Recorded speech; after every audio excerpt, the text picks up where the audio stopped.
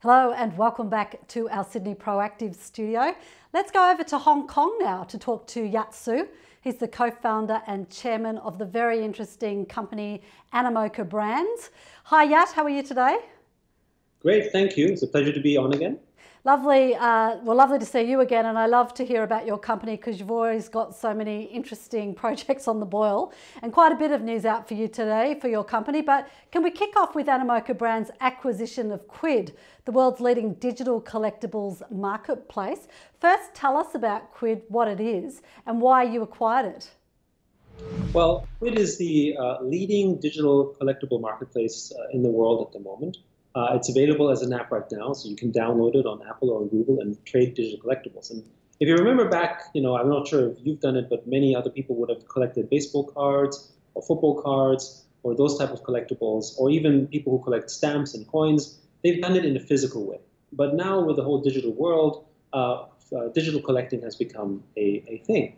And uh, more and more people do it. And right now, uh, what Quidd has managed to do is they've amassed a collection of over 300 unique IP, uh, including Marvel uh, IP like Avengers, Spider-Man. We've got uh, Game of Thrones items on there. We have Star Trek. So all the brands that you love, including NBA, all the brands that you love are basically on Quidd, and you can trade and buy them uh, and sort of uh, participate in them and own them uh, on the Quidd marketplace. So we think this really advances our digital collectible strategy.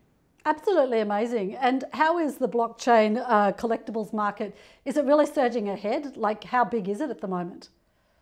Well, when you think of blockchain collectibles, it is one of the things that is advancing very quickly. Just to be clear, Quidd itself is not on the blockchain today. However, uh, collectibles like what we did with the Formula One car that sold over $100,000 or CryptoKitties has sort of shown the way where sort of blockchain collectibles will go. And certainly there could be interesting potentials in the future. Very interesting. And what does this acquisition mean for Animoca Brands and its investors? How significant is it and what are the terms of the acquisition? Well, the terms of the acquisition, it's an initial $5 million upfront acquisition with a $3 million earnout. That is essentially a profit target. Um, so quite, you know, we think it's uh, quite a good deal for the shareholders. Obviously, otherwise we wouldn't have done it. Um, the total revenue that Quidd had generated through the sale of these digital collectibles in the past was $10 million worth. Uh, and uh, obviously, you know, it continues to sell these collectibles. Uh, and I think there's some more added value beyond the fact that the company has revenues. It's also the fact that we inherit with it all of the licenses with the world's biggest brands, right? I mean, how many companies can go out in the world uh, and, and claim to have relationships with the likes of, you know, basically sort of Marvel, Disney, uh, sort of, you know, Panini, Topps, right? Some of the biggest brands out there in, in that space. And, uh, you know, if you think about us as a company when we first started out as Animoca Brands, our strategy and our mission was always about bringing brands digital, whether in, you know, through the form of games or other mechanisms. Uh, and with this acquisition, we really sort of emphasize the brands in Animoca Brands. And I would imagine the main market for Quidd would be Asia, is that correct? Well, so the current market, all of the revenue that's been generated has been in English speaking markets, predominantly uh, North America. And that's because oh. Quidd has only launched in the English language.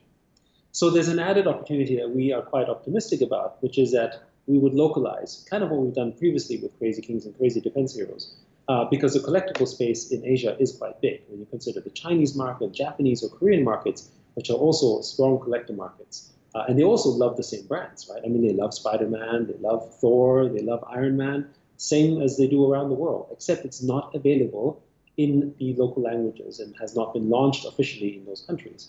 Uh, and this is where we think we can also derive, sort of derive additional value for shareholders. Yeah, I was about to ask, how far do you see um, it expanding in the future? And is that your vision to get it in different languages, different countries? Yes, definitely. So we see it expand in, different in different uh, sort of market segments, but we also see it in expanding uh, our existing brands. So we have other brand licenses of our own as well that are, for instance, not inside Quidd. Uh, whether this is our deal with Formula One, many of the Japanese IP that we have, for instance, uh, all of that is something that we can also incorporate and bring into into Quidd. So we see value that we can add uh, above and beyond. Sure, and Animoca has also completed uh, a strategic capital raise of $8 million to fund the advancement of various business opportunities, including the expansion of Quidd. Can you tell us more about that funding? Well, I mean, we were very fortunate to have basically um, received uh, sort of $8 million of funding at a premium of uh, our share price, uh, which basically is uh, sort of a vote of confidence uh, that we've received from the market, and we're very grateful for that. I think the the thing that we're uh, sort of excited about is many of our existing institutions have participated in the round again, which is great. And we also have some strategic partners that have also sort of participated in it. Uh, and uh, and I think you know um, we're we're extremely positive about where this could all lead. Um, Eight million dollars is uh, perhaps the biggest fundraise we've done as a company so far. Um, and uh, and we hope to obviously um, make um, the money work very productively for our shareholders. And your company also announced today it's entered mutual investment with Versus Systems. Have we got much detail about that at this stage? Well, in the agreement that we announced, we have said that we will do a share swap between us. Um, in particular, we are excited about Versus's rewards platform.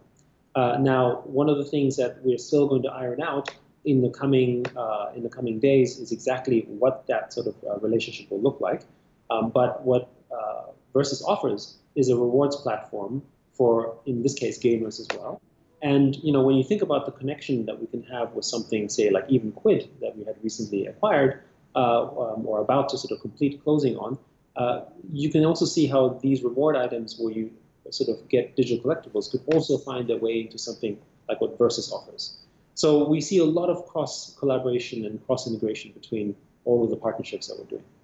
As you said, Yat, before, you've been a little bit busy, so I can see why. Thank you so much for that update today. It was great to hear about Quidd, and we look forward to hearing about your next venture because, as I said, they're always very interesting. But thanks for your time from Hong Kong today. Thank you so much. That's Yat Siu from Animoca Brands.